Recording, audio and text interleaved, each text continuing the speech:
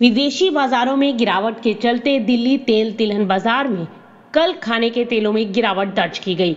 सरसों तिलहन, सोयाबीन, मूंगफली तेल, तिलहन और कच्चा पाम तेल सहित पामोलिन में भी गिरावट देखने को मिली। दरअसल विदेशी बाजारों में गिरावट के चलते भारतीय बाज़ार भी गिरावट के साथ बंद हुए।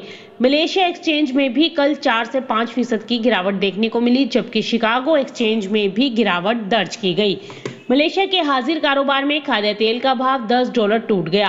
विदेशों में सोयाबीन जेगम तेल का भाव भी तीन सौ रुपए क्विंटल कम हो गया। लेकिन सरकार की कोटा प्रणाली की वजह से देश में कम सप्लाई की स्थिति के कारण सोयाबीन जीगम में उतनी गिरावट नहीं आई जितनी आनी चाहिए थी। फ़िलहाल इस तेल में मामूली गिरावट दर्ज की गई। वहीं गुजरात के कारोबारियों का कहना है कि सरकार के खाद्य तेलों के शुल्क मुक्त आयात के लिए कोटा प्रणाली व्यवस्था को खाद्य तेल कीमतों में वृद्धि का कारण माना जा रहा है। इस अव्यवस्था को समाप्त कर सभी के लिए आयात खोलने की मांग इंडस्ट्री के द्वारा की जा रही है। सरकार के इस फैसले से न तो किसान, न तेल उद्योग और न ही उपभोक्ताओं को कोई फ़ायदा हो रहा है। सरकार को इस मसले पर ध्यान देते हुए तत्काल कोई फैसला करना चाहिए, ऐसा बाज़ार जानकर मानकर चल रहे हैं।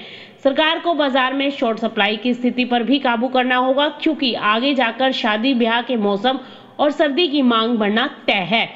वहीं आपको बता दें कि बुधवार को मंडियों में सोयाबीन और मूंगफली की आवक बढ़ती हुई दिखाई दी है, जिससे खाद्य तेल कीमतों में गिरावट को बल मिला।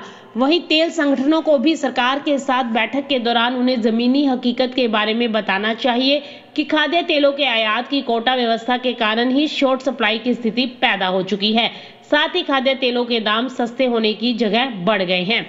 वहीं माना यह जा रहा है कि खाद्य तेलों की घटबर और अनिश्चितता से बचने का एक ही रास्ता है कि किसानों को भरपूर प्रोत्साहन देकर देश में खाद्य तेलों का उत्पादन बढ़ाया जाए। और इसके लिए सबसे महत्वपूर्ण है कि किसानों को उनकी फ़सल के लिए लाभकारी मूल्य सुनिश्चित किया जाए।